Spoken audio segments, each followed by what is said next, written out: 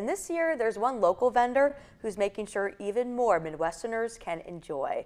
Our Griffin Wright joins us to explain. Good morning, Griffin. Good morning, Kaylin. Grimes Sweet Corn is now shipping out of state, and it's because of years of requests from former Iowans now living out of state hoping to get a taste of home. So here's how it works. You could reach out to Grimes Sweet Corn asking for a delivery, and they will give you a quote on how much it will cost. They've already shipped to people in Texas, Oklahoma, and Tennessee. However, if you're looking to send some sweet corn out of state, you'll need to be prepared to pay a premium.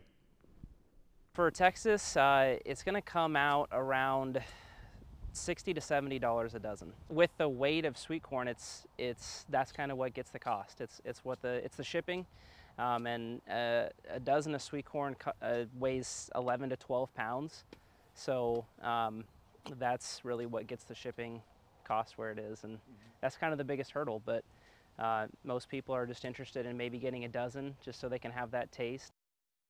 If you're interested in ordering sweet corn out of state, maybe because you miss home or you have a loved one who does, you can contact Grimes Sweet Corn at their website that's on your screen for a quote on how much it will cost. It really makes you uh, kind of thankful that we live here in Iowa where we just have to go to the stand and not uh, pay a premium for that shipping cost to get that sweet corn to our table. Yes, not a bad drive or a price for us here, but people are willing to pay big bucks, it sounds like. So great they're offering that service. Griffin Wright, thanks for that report this morning.